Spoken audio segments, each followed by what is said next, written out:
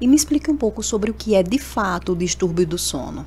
Os distúrbios do sono, eles podem se apresentar de basicamente três formas.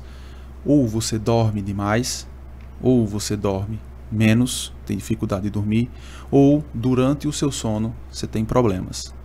Então, os distúrbios do sono, eles se apresentam dessas três formas e, como consequência, eles provocam prejuízo no funcionamento diário do portador daquele distúrbio do sono. A gente tem diversas causas de distúrbios do sono. Aparentemente parece ser simples, aquele paciente que ele não consegue dormir, que ele tem uma insônia, mas na verdade a gente tem que saber direitinho se é realmente uma insônia, se ele está com sono desregulado, se ele tem uma irregularidade do sono, se ele está trocando o dia pela noite, ou então se ele está fazendo um cochilo à tarde e aí quando chega a noite ele não tem sono para dormir. Então a queixa de sono ela é fácil, mas para investigar é preciso ter um pouco mais de atenção e cautela para poder a gente iniciar o tratamento do paciente.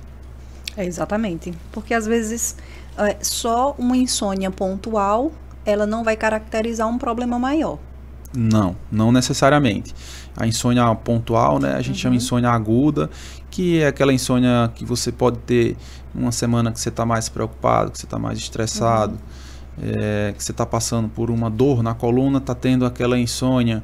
Então, muitas vezes a gente faz algumas medidas pontuais também. Não uhum. necessariamente precisa aquele tratamento mais crônico, mais contínuo, né?